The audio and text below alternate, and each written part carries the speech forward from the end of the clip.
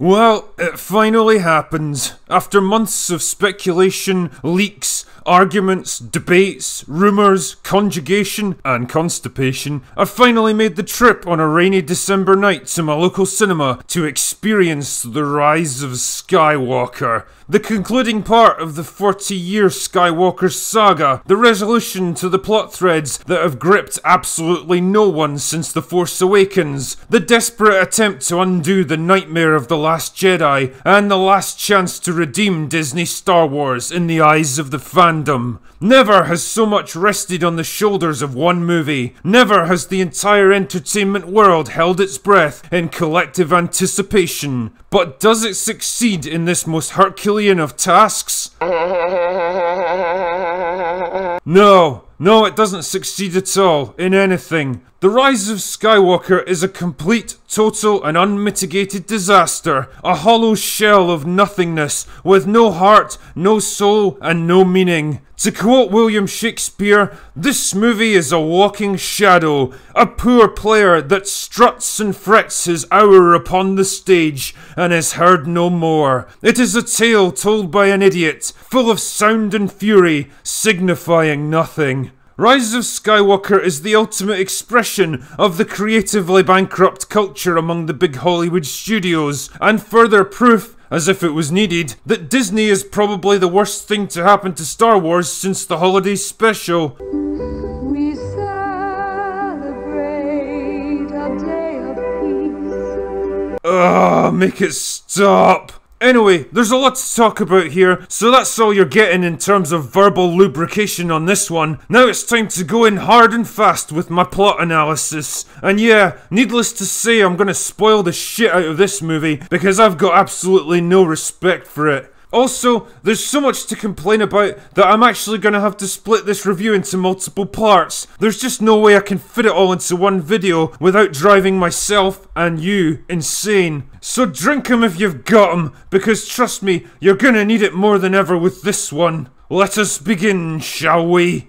So Rise of Skywalker begins about a year after the events of The Last Jedi. The First Order are busy taking control of the galaxy, while the Resistance is desperately trying to rebuild its shattered forces. But then a transmission starts coming in from the Sith homeworld, located somewhere in the unknown regions. Wow, these unknown regions are pretty versatile when it comes to script writing, aren't they? I mean, isn't that the same place the First Order came from? Were they aware of the Sith homeworld? And why are they so unknown? Why has no attempt been made to explore them? It's like a box, you see. A box filled with mysteries.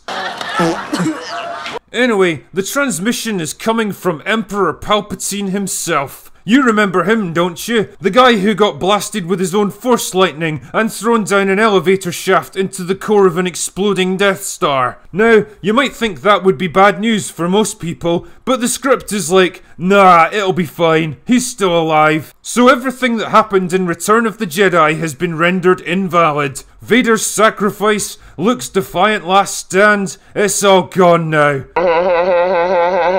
Fuck off, film. In fact, on that subject, we're gonna play a little game here. Every time I describe something in this plot that sounds totally incongruous or contrived or just plain dumb, take a shot with me, and we'll see how many of us make it to the end of the review. Anyway, Kylo Ren is mad about this new development because he's the supreme leader now, and he's not up for sharing. So he goes to a place and kills a bunch of people so he can get hold of a MacGuffin called a Wayfinder, one of only two in existence, which points the way to the Sith homeworld of Exegol. Because apparently it's really hard to find, and you need a Wayfinder to find the way. However, this does bring up a number of questions for me. Like, who constructed these devices and for what purpose? Why would you want to show the way to a secret world? If Exegol is the Sith homeworld, wouldn't there be literally millions of people who know the way there by now? Is it possible to duplicate the Wayfinders? They seem to be technological rather than magical in nature, so I assume there's nothing too special about them. Why aren't there more of them? If you need to physically take the Wayfinder with you, and there's only two of them, does that mean that only two people can ever go to Exegol?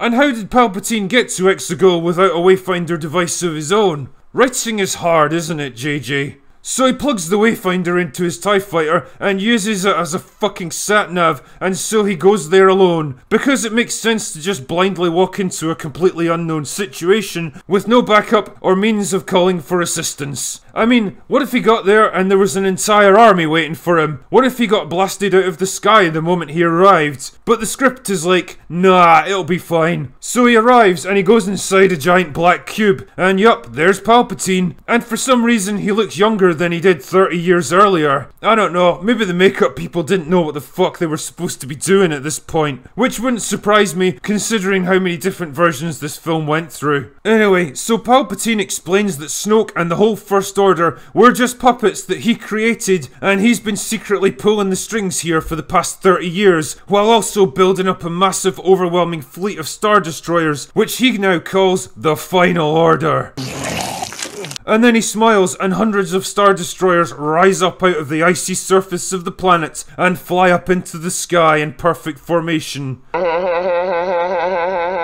What the fuck? Why were they stored under the ice on a planet that's practically impossible to find anyway? How were they built down there? And wouldn't it cause massive damage to break them free like this? If you were already working on this massive fleet, what was the point in creating Snoke in the First Order at all? And what about Starkiller Base? Was that part of your plan? If that wasn't your real plan, weren't you just drawing unnecessary attention to yourself and potentially mobilizing the entire galaxy against you before you were ready to strike? You'd never guess the plot of this movie was desperately cobbled together out of the ruins of The Last Jedi, would you? Anyway, so Palpatine orders Kylo to find Rey and bring her to him, because obviously, when you're dealing with armadas of ships numbering in the thousands and the conquest of hundreds of solar systems across an entire galaxy, one girl is clearly gonna make all the difference.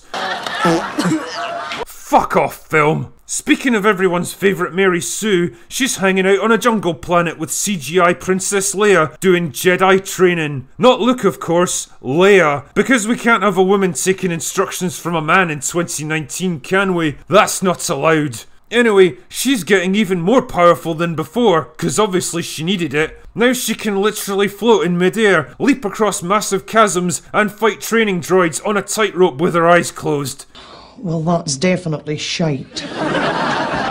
You know, one of the reasons people never warm to Rey is because she comes across as totally overpowered and invincible, right? Ah, well, at least she's been shown doing actual training for a change, so that's something. Baby steps, JJ, baby steps. But then she gets mad because she can't hear the voices of all the other dead Jedi in her minds. Holy shit, there's something Rey can't actually do yet? Yeah, no wonder she's pissed. If you've spent your entire life being able to master every new skill instantly, I suppose minor inconveniences like this are gonna seem like insurmountable obstacles by comparison. Anyway, then Poe and Finn show up in the Falcon with news from a First Order spy about Palpatine and his fleet of bullshit Star Destroyers. Who could this spy possibly be, considering there's only one senior First Order character that's been in all three movies up to this point? Nah, it's a total mystery to me. Great work, JJ, keep it up. Anyway, the word on the street is that Palpatine is planning to unleash his copy pasted fleet in 14 hours' time. Why 14 hours instead of just right now when there's absolutely nothing stopping them?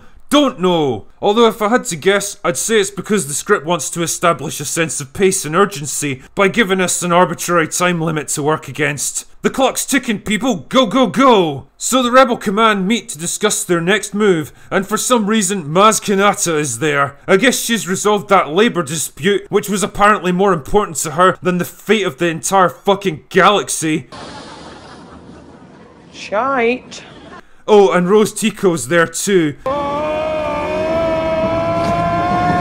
And that's pretty much the scale of her involvement in this movie, thank God. At least JJ listened to that piece of feedback. So what will our plucky band do about all this? Well, in order to leave the unknown regions and launch their attack on the galaxy, the Sith fleet have to use a navigation tower. So if they can blow up the tower, the fleet will be stuck there forever, because I guess they couldn't ever build a new one or something. Fuck off, film. But how to get to Exegol in the first place when they don't even know where it is? Well, Rey looks through the old Jedi text she stole and finds a note from Luke about a second Wayfinder. It turns out he was looking for it himself, but then he gave up because it was too hard or something. Wow, that was lucky. It's also lucky there happens to be two of them, otherwise these chumps would have absolutely nothing to go on. Anyway, Luke's clues led him to a desert planet where he was looking for a Sith dagger that would give the location of the Wayfinder. Jesus Christ, this is like the puzzle tree on a Resident Evil game. And if it seems like an awful lot of pointless, convoluted busy work to you, then congratulations, you're clearly a better writer than J.J. Abrams. But basically, it boils down to this find the dagger, find the Wayfinder, get to Exegol, and blow up the thing. And Bob's your mother's brother, it's done. So they go to the planet, and there's a big festival going on, and they run into Lando Calrissian, who explains he came here with Luke to find an assassin who was seen with the dagger. But when Luke gave up, Lando just kind of hung around, I guess. Oh, yes. That's shite. And he's been here for the past 30 years or something.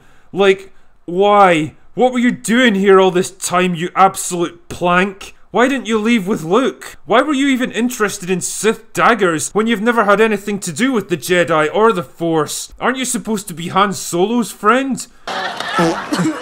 Fuck off, film. So they're dicking around at the festival when Kylo Skype calls Rey. Wait, I thought it was Snoke who made these conversations happen. I thought the sheer mental strain of doing something like this would kill them. Nah, whatever. It's just a thing now and it can happen. So because they can somehow physically interact with each other during these moments, Kylo is able to figure out where Rey is. So he dispatches a small, easily defeatable force of stormtroopers to attack them. Just like in Force Awakens. Why employ the massive army you have at your disposal when you can just send one squad instead. Maybe they have to keep their fuel costs down or something. But honestly, I think the whole thing was done so they could have a goofy chase scene with even worse dialogue. Fly now! They fly now?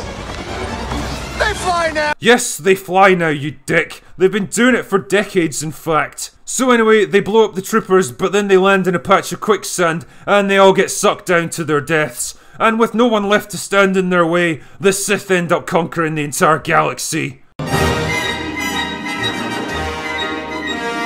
Nah, just kidding. Instead, they somehow fall into an underground tunnel beneath the sand. Wait, what? How can you fall through sand into a tunnel which is beneath the sand? Wouldn't the sand collapse on the tunnel because there's nothing to hold it up? Because if there was something to hold it up, then you wouldn't be able to fall through it. Honestly, this movie is fuel for a thousand hours of EFAP. Then they run into a giant snake monster that looks like it wants to eat them, but it turns out it's just injured or something. So Rey uses the force to heal its wounds and off it goes. Oh yeah, you can trade your life force to heal injuries now. That's a thing which can happen. Keep it in mind because it'll be important later. So they find the bullshit dagger that'll lead them to the bullshit wayfinder that'll point the way to the bullshit navigation tower. But oh no, the directions are inscribed with Sith language, and only C3PO can read it because language is his thing, I guess. But his programming won't allow him to do it. What is this thing, the Ring of Sauron or something? Oh, yes.